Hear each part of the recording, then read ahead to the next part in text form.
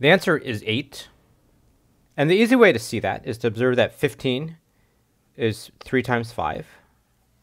It's a composite number that can be broken down into two primes. And then if we look at the numbers from 1 to 14, so these are all the positive integers less than n, we want to figure out how many of these are relatively prime. So the multiples of 3 are not. We can cross all those out. And that's true for the multiples of 5 as well.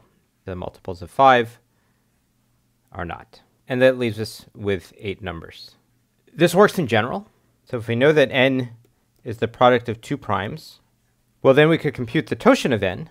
It's the number of integers less than n, which is also pq minus 1. That would be all the integers. Then we want to subtract out all the multiples of p that are less than n. And since n is pq, well, they're q minus 1 of those. And then we want to subtract all the multiples of q less than n, which is again pq, so they're p minus 1 of those. If we do the algebra, we get pq minus p plus q plus 1, which we could also write as p minus 1 times q minus 1. And since p and q are prime, and this property depended on p and q being prime, otherwise some of these multiples might have collided. Since they're prime, we know they didn't, and that means that we know that the totient of n is equal to the totient of p times the totient of q. This is going to turn out very useful for RSA.